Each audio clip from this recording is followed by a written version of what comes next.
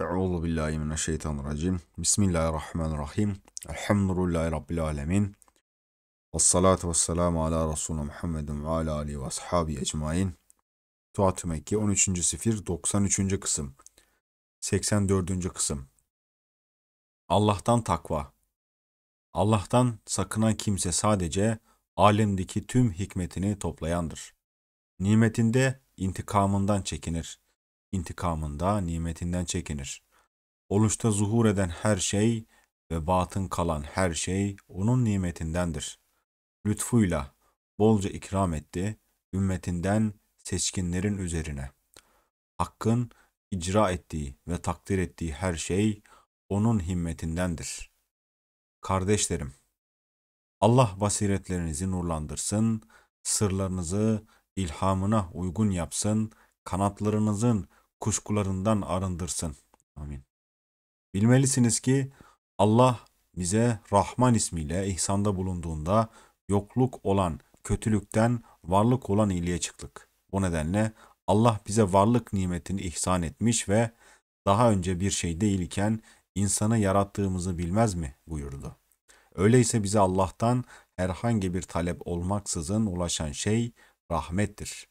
Bu nedenle kutsi hadiste Allah'ın rahmeti gazabını geçmiştir denilir. Allah'tan sakının sözüne baktığımızda bunun sakındığınız her işte onu siper edinin demek olduğunu anladık. Gördük ki Allah bütün isimleri kendine toplar. Öyleyse bu isimden sakınmak ve onu siper edinmek gerekir. Alemin ilgili olduğu ilahi isimlerden her birisinden ve her birisiyle sakınılabilir. Bu ise lütuf isimlerinden ya ayrılışından korkmak ya da kahır isimlerinden insana ulaşmasından korkmaktır. O halde Allah'ın isimlerinin hükmünden sakınıldığı gibi isimlerinden de ancak onun vasıtasıyla sakınmak mümkündür. Hepsini toplayan isim ise Allah ismidir. Allah zıt anlamlı isimlerin toplamıdır. İki zıt bir yerde bulunduğunda hükümlerin ortadan kalkar. Çünkü bir yer iki zıttı kabul etmez ve hükümleri ortadan kalkar. Birinin terazisi üstün gelirse hüküm üstün gelene aittir. El-Latif ismi varlığımızı yokluğumuza tercih etmiştir. Çünkü Rahman ismi bizi korumaktadır. Bu durumda rahmet üstün gelmiş ve hükmü işlemiştir. Binaenaleyh rahmet yaratmada esastır. İntikam ise geçicidir ve geçicinin kalıcılığı yoktur. Çünkü varlık bize eşlik eder. Bu nedenle hepimiz rahmete ve onun hükmüne varacağız. Bu nedenle bize Allah'tan takva emredildi. Başka bir ifadeyle onu siper edinmeli ve içerdiği zıtlıktan dolayı ondan çekinmeliyiz.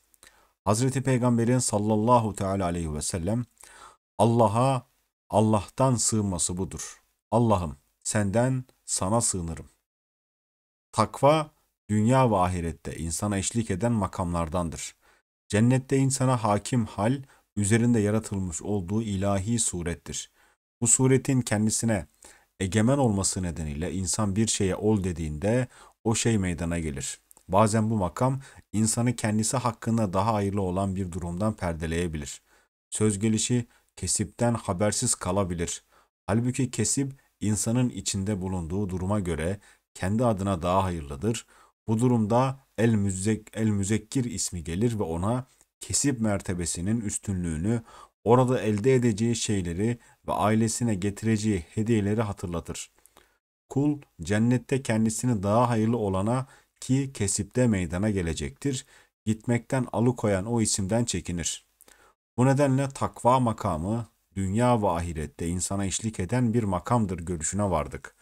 Bunu öğrenince Allah'tan takva sahibi olmanın kul için kazanılan bir makam olduğunu ve bunun için emredildiğini bilmelisin. Emredilen her şeyde durum böyledir. Öyleyse emredilen her şey kazanımdır. Bu nedenle sufiler makamlar kazanım, haller vergidir demiştir. Haktan takva bizdeki hükmü bakımından iki kısma ayrılır. Yani iş bizde iki kısma ayrılır. Birincisi Allah'ın müminler olmamız bakımından kendisinden hakkıyla çekinmemizi emrettiği kısımdır. Diğeri ise herhangi bir grubun tahsis edildiği bir nitelik belirtmeksizin imkan ölçüsünde bize çekimi emrettiği kısımdır. Belli bir grubun tahsis edildiği niteliğe örnek olarak hakkıyla çekinmek şeklinde belirlediği durumu verebiliriz. Bununla beraber müminler daha önce zikredilmiştir ve zamir onlara dönmüştür. Böyle bir şey açıkça isimlendirilmemiş ve belirtilmemiştir. Bu durumda tam olarak belirlenenin aşağısında kalmış ve başka bir hüküm gerçekleşmiştir. Allah gücünüz ölçüsünde Allah'tan çekinin der. Ayet bağlaç feysi ile gelmiş ve uzak ya da yakın zikredilenlere ait çoğul zamirle başlamıştır.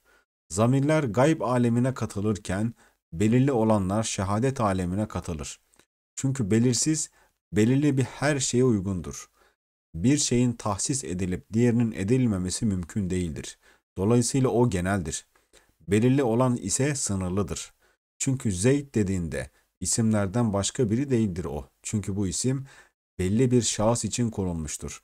Sen dediğinde ise bu da kadim ya da hadis muhataba uygun bir zamirdir. Bu nedenle zamirli olan ile isim veya nitelikle belirlenmiş olanı ayırt ettik. Nitelik isim ve zamir arasında ara bir şeydir. Nitelik isim ve zamir arasında ara bir şeydir. Çünkü mümin ya da katip dediğinde onu mümin veya katip olmayandan ayırt edersin.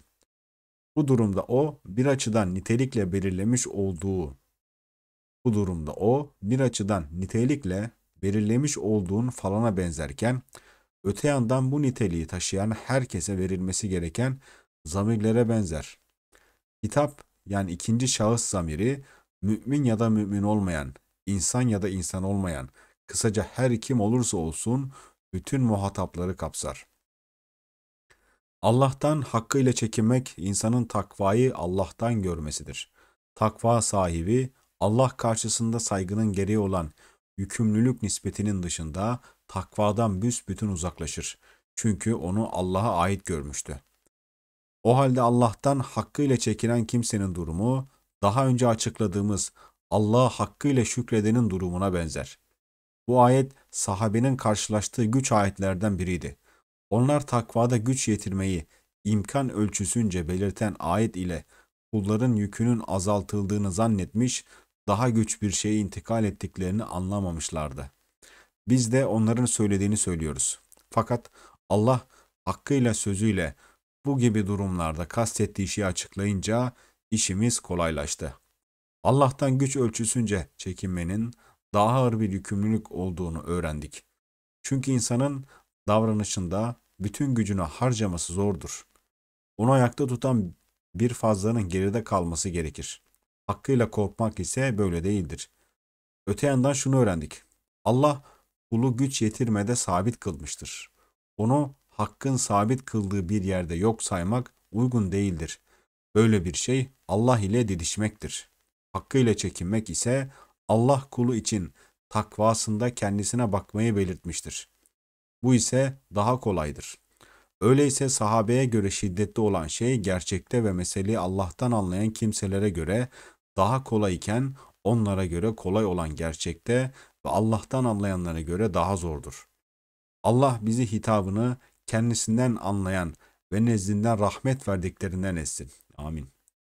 Bu insana verilen anlayış ve kendi nezdinden bilgi öğrettiği ayetinin anlamıdır. Allah katından bilgi verdiği kimseyi öznelliğe bırakmamış ya da kendisine yönlendirmemiş, onun öğrenim işine içinde bulunduğu zayıflık halinden rahata çıkarmak için üstlenmiştir. Kul fiillerini Kul fiillerini yapabilme ve onları kendi başına yerine getirme iddiasında bulunmasaydı Allah ne bir yükümlülük ne de bir şeriat indirirdi. Bu nedenle Allah bu iddiada müminin payını şu dua yaptı. Senden yardım dileriz. Allah biz ve benzerlerimiz gibi dış varlıkları kendilerinden ortaya çıkan fiillerden soyutlananlar hakkında şöyle demiştir. Allah'tan başka güç ve kudret sahibi yoktur. O yüce ve azimdir. O ortak koşulamayacak kadar yücedir. Binaenaleyh bu fiiller sadece Allah'a aittir. İddia ve iddia ve soyutlanmak arasında ne büyük fark var. İddia eden kanıt getirmekle yükümlüyken iddiadan soyutlanan yükümlü değildir. İddiadan uzaklaşmak da bir iddiadır deme. Çünkü soyutlanmak hiçbir şeyi geride bırakmaz. O nedenle ona teberri eden denilir. Biz gerçekleşmiş şeyler hakkında konuşuyoruz. Çünkü bizim kitabımız, hatta bütün sözlerimiz işin kendiliğinde bulunduğu duruma dayanır. Teberri hakka ait olumsuz bir niteliktir. Kulun hakikati de olumsuzluktur. İddia ise olumlu ilahi bir niteliktir ve sadece Allah'a ait olabilir. Kul insaflı olursa bu konuda Allah'a karşı koymaz ve şöyle der. Allah'tan başka güç ve kudret sahibi yoktur. Hatta şöyle der. Senden yardım dileriz. Her ne zaman senden yardım dileriz derse bunu gerçek anlamda değil bir okuyucu olarak söyler. İnsan için niyet ettiği vardır ve insan bildiğine göre davranır. Kul bir iddiayla ortaya çıkmasaydı imkan ölçüsünde Allah'tan çekinin denilmezdi. Orada imkan iki zayıflık arasında sizde yarattığım güç demektir. Kendisindeki gücün yaratılmışlığının ve sahibinin farkına varan kimse bir iddiada bulunmaz. Güç insanda sahip olmadığı bir emanettir. İnsan ise sahip olduğuyla zengin olabilir. Emanet sahip olunmayan geçici bir şeydir ve bulunduğu kimseye emaneti sahibine vermek emredilir. Bu noktada emaneti sahibe vermek Allah'tan başka güç ve kudret sahibi yoktur demektir. Başka bir ifadeyle kudret bize değil Allah'a aittir. Güç iddiasında bulunanlar gücümüz ölçüsünce ifadesindeki ma'yı mastar anlamında almıştır. Güçten uzak duranlar ise onu olumsuzluk saymıştır. Bu durumda hak onların nezdinde takvaya güç yetirmeyi olumsuzlamış, mastar sayın, sayanlarda ise olumlamıştır. Takva sahibine nispet edilen şeye karşı Allah'ı kalkan edinmektir. Kula bir şey nispet edildiğinde kalkan onunla kula ulaşıp kendisine eziyet edecek şey arasına girer ve kalkan o şeyi göğüsler. Allah'tan daha çok eziyete sabreden yoktur. Çünkü ok, kılıç, taş, mızrak, kılıç şeylerin vurduğu darbeleri kalkan karşılar. Burada kalkan insanın elindeki siperdir ve onu ardından korur. Fakat takva sahibi güçlü bir teraziye gerek duyar. Bunu ise kendisine nispet edilen ve kötü diye isimlendirilen şeylere karşı kullanır. Kul kötü durumları kabul eder ve saygının gereğiyle Allah'ı onlara siper edinmez. Bununla beraber onları karşılayan gerçek Allah'tır. Fakat bu konuda kula saygı emredilmiştir. Kınanmış şeyleri kendine ait sayma ile ilgili böyle bir iddia kula zarar vermez çünkü bu gerçek değil şekilde bir iddiadır. Allah insanın böyle davrandığını bilince onu işleri kendisine havale edip her konuda tevekkül eden, kaderin akışı altında sakince duran ve Allah'ın gecenin ve gündüzün evlatlarında meydana getirdiği işlerde dolaşan kimseleri ödüllendirdiği gibi ödüllendirir. İşte bu Allah'tan takva makamıdır. Onun hakikatine kısmen değindik. Çünkü anlamı üzerinde konuşmak geniş yer tutar. Biz ise bu kadarla yetindik ve perde ve örtü takvasına geçtik. Bunların hepsi Allah'tan takvadır. Çünkü esas olan budur. 93. kısım sona erdi. Onu hicap ve örtü hakkındaki 85. bölüm ile 94. kısım takip edecektir.